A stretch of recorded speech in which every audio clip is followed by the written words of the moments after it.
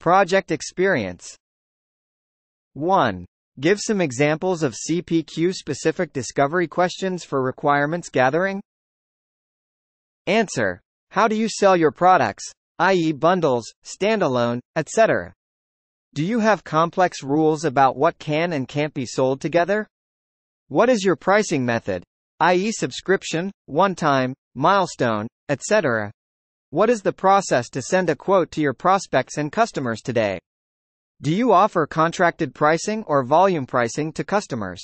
How do you record the commercial terms agreed with a customer? Note, there are many more discovery questions, but these examples show that the candidate understands the nuances around CPQ development and what information is needed. 2. Explain the migration process for CPQ data. Answer. Salesforce CPQ data is relational data which means moving it between orgs is extremely complex. Because Salesforce record IDs change in each org, a separate ID on the records that are being migrated would be helpful to use when referencing related records. An admin could create a custom auto number field on every object that will require migration, but this will be extremely time consuming and will still result in a complex migration process. The recommended option is to invest in and utilize a third-party tool such as Prodly or Gearset to move this data. 3.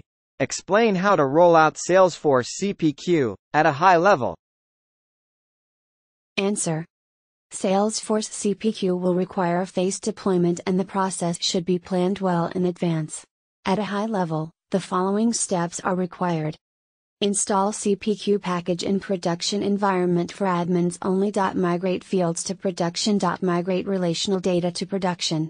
Update global package settings. Smoke test with admins and a small group of test users who have been given the required permissions. Add permission set license to all users who require CPQ permissions.